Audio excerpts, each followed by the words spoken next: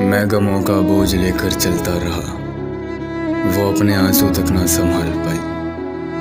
मैं उससे बेपना मोहब्बत करता रहा। उसने थोड़ी सी हमदर्दी भी नहीं दिखाई। सोचा एक दिन हो जाएगा सब कुछ ठीक, पर उसके दिल में जो बात थी, वो उसने मुझसे नहीं बताई। मुझसे दूर होने के बाद वो बात आज मेरे सामने आई। कोई था उसके लिए ज़रूरी, मुझसे भी ज़्यादा।